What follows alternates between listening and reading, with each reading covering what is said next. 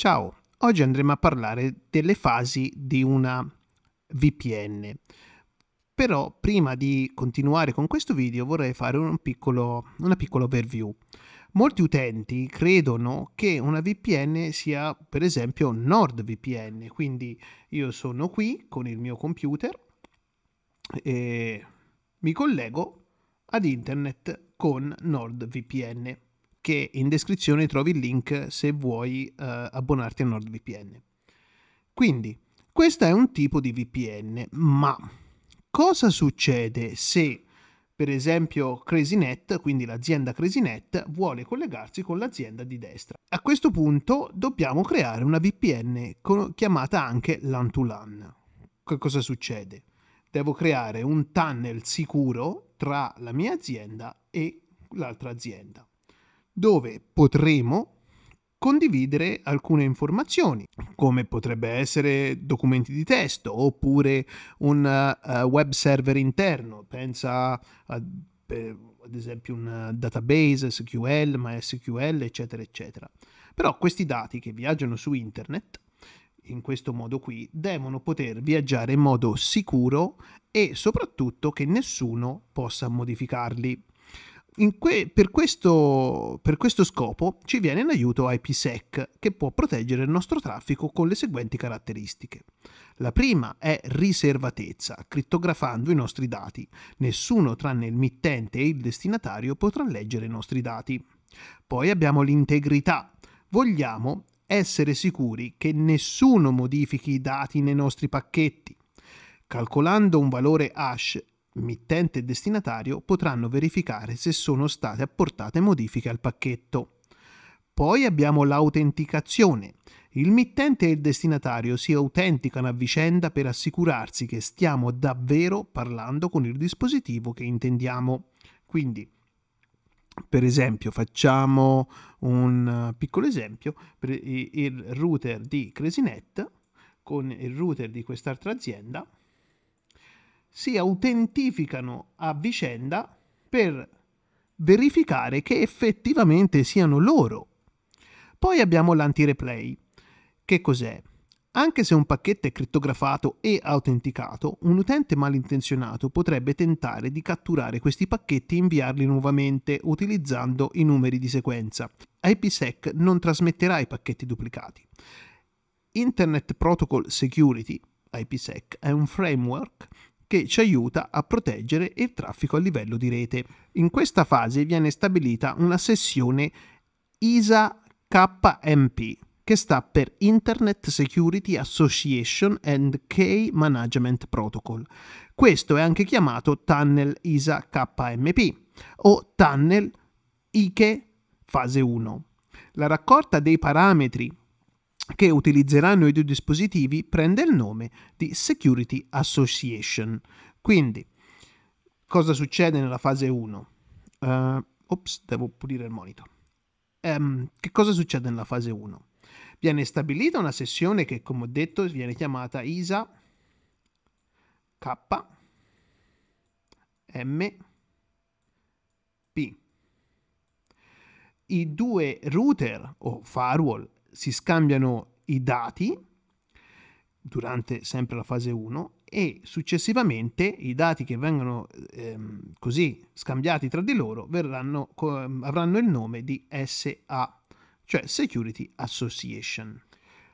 Una volta completata la fase 2 ICHE, disponiamo di un tunnel ICHE di fase 2 o tunnel IPsec che possiamo utilizzare per proteggere i dati dei nostri utenti. Questi dati utente verranno inviati attraverso il tunnel IKE di fase 2. IKE crea i tunnel per noi, ma non autentica o crittografa i dati degli utenti. Usiamo altri due protocolli per questo, AH oppure ESP. AH ed SP offrono entrambi autenticazione e integrità, ma solo ESP supporta la crittografia. Per questo motivo l'ESP è la scelta più popolare di oggi. Entrambi i protocolli supportano due diverse modalità. Modalità trasporto, quindi transport mode, o modalità tunnel, quindi tunnel mode. Il processo è composto da 5 step. Il processo dello scambio dei dati è um, composto da 5 step. Il primo è iniziazione, quindi initialization. Qualcosa deve innescare la creazione dei nostri tunnel. Ad esempio, quando si configura IPsec su un router, si utilizza una, una chess list per indicare al router quali dati deve proteggere. Per quali dati deve proteggere si intende quale network deve proteggere, ad esempio 192.168.1.0. Quando il router riceve qualcosa che corrisponde alla chess list, avvierà il processo IKE. È anche possibile avviare il processo manualmente de, per il tunnel. Per esempio, se il computer remoto ha un indirizzo, il computer o il server remoto ha un indirizzo IP, facciamo per esempio 192.168.10.10, io dal computer posso fare un ping verso questo indirizzo IP, quindi 10.10, e il, il tunnel verrà tirato su dal, dal router. Poi abbiamo le, eh, ICHE fase 1. Negoziamo un'associazione di sicurezza per costruire il tunnel ICHE di fase 1. Come ho già detto prima, tunnel ISA KMP. Poi abbiamo la fase 2. All'interno del tunnel ICHE fase 1 costruiamo il tunnel ICHE fase 2, tunnel IPsec appunto. Poi abbiamo il trasferimento dei dati, proteggiamo i dati degli utenti inviandoli attraverso il tunnel ICHE di fase 2, quindi attraverso l'IPsec, e infine abbiamo la terminazione. Quando non ci sono i dati utente da proteggere, quindi quando il traffico verso la destinazione del tunnel IPsec non, ehm, non viene a cessare, quindi non c'è più uno scambio di dati, il tunnel IPsec verrà terminato dopo un po'. ICHE versione 1 versus ICHE versione 2. ICHE sta per Internet Key Exchange. ICHE è uno dei protocolli principali per IPsec poiché stabilisce l'associazione di sicurezza tra i due peer. Esistono appunto due versioni di ICHE. ICHE versione 1 è stato introdotto intorno al 1999 e sostituito da ICHE versione 2 nel 2005. Ci sono alcune differenze tra le due versioni. Qua, ora, si usa ancora ICHE versione 1. Poi abbiamo che ICHE versione 2 richiede meno larghezza di banda rispetto a ICHE versione 1. Poi ICHE versione 2 supporta l'autenticazione EAP accanto a chiavi precondivise e certificati digitali. Sempre ICHE versione 2 ha il supporto integrato per l'attraversamento del NAT, necessario quando il tuo peer APSEC è dietro a un NAT, quello che comunemente noi conosciamo come NAT traversal. E infine, ma n- non per ultimo, ha un meccanismo di keep alive integrato nei tunnel. Poi i vantaggi del IKE versione 2 sono molti altri. La negoziazione. Prima abbiamo l'hashing. Utilizziamo un algoritmo di hashing per verificare l'integrità, per questo utilizzeremo OMD5 o SCA. Poi abbiamo l'autenticazione. Ogni peer deve dimostrare chi è Due opzioni comunemente utilizzate sono la chiave condivisa o certificati digitali. Poi abbiamo il gruppo DH. Um, DH sta per Duffy Hellman, credo che sia la pronuncia corretta.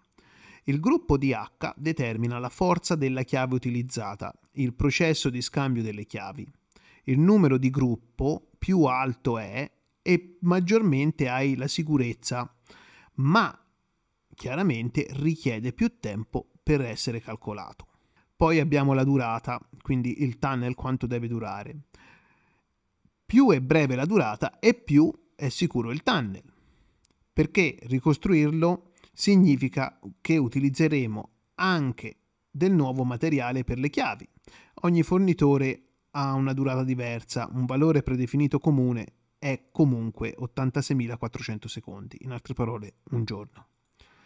Poi abbiamo infine la crittografia e infine abbiamo la crittografia. Quale algoritmo utilizzeremo per la nostra crittografia? Ad esempio DES, 3DES o AES. Una volta che la negoziazione è andata a buon fine, i due peer sapranno quale politica utilizzare. Ora utilizzeranno il gruppo DH che hanno negoziato per scambiare il materiale delle chiavi. Il risultato finale sarà che entrambi i peer avranno la stessa chiave condivisa. L'ultimo passaggio è che i due peer si autenticano a vicenda utilizzando il metodo di autenticazione concordato durante la negoziazione. Quando l'autenticazione ha esito positivo, abbiamo completato la fase 1. Il risultato finale è un tunnel IKE di fase 1 e il tunnel eh, che è il tunnel ISA KMP. Il tunnel ISA KMP è bidirezionale, ciò significa che entrambi i peer possono inviare e ricevere su questo tunnel. I tre passaggi precedenti possono essere completati utilizzando due modalità, modalità principale oppure main mode e modalità aggressiva o, se preferisci, aggressive mode. La modalità main mode, quindi la modalità principale, utilizza 6 messaggi, mentre la modalità, la modalità aggressiva o aggressive mode utilizza solo 3 messaggi. La modalità principale, main mode, è considerata più sicura. Il tunnel IKE di fase 2 o tunnel IPsec verrà effettivamente utilizzato per proteggere i dati degli utenti. C'è solo una modalità per costruire un tunnel IKE di fase 2 che è chiamata modalità rapida, Quick Mode. Poi abbiamo AH o ESP. Entrambi possono essere utilizzati in modalità trasporto o tunnel. E infine la configurazione su un router Cisco di una VPN, solo da un lato, poi va fatta anche sull'altro, ovviamente cambiando gli indirizzi IP, ma è uguale. Quindi, che cosa ho qua? Ho il crypto, ISA KMP, Policy 1, questo numero è incrementale, Encryption 3DES, Hash MD5. Se ti ricordi, oh, nel, eh, qualche momento fa ho detto che può essere MD5 o SCA. Authentication Pre-Share Key, gruppo 2, questo è il eh, Duffy Hellman, Lifetime 86400, quindi un giorno, Crypto ISA KMP K, questa è la mia password, address 192.168.10.1, questa è la rete che io voglio matchare. Poi qui ho, ho, creato una IP Access List Extended VPN Traffic, solo per dargli il nome così quando nel caso in cui ne avessi molte di VPN so a che cosa si fa riferimento. Permetti il traffico di 10 eh, della rete 10 in questo caso su questo indirizzo IP che è l'indirizzo pubblico del router remoto dove io mi voglio collegare. Poi nella fase 2 IP crypto IPsec, transformer set TS, ESP, 3DS, ESP, MD5 che sono questi qua su che eccoli qui. Volevo fare una parentesi graffa ma non ci sono riuscito. Poi ancora CryptoMap MyVPN 10 è un numero incrementale, può essere 1, 2, 3, 4, 5, eccetera, eccetera. IPsec ISA, KM, ISA KMP, set peer, in questo caso 10.1, set transformer set, match address VPN traffic, quindi gli sto dicendo match a questo traffico qui, di questa access list qui, e poi attesto la mia eh, VPN eh, sotto all'interfaccia 01 con il comando cryptmap myVPN e a questo punto, poi configurando il router remoto, la VPN verrà stabilita. Ti ringrazio per aver guardato questo video e al prossimo.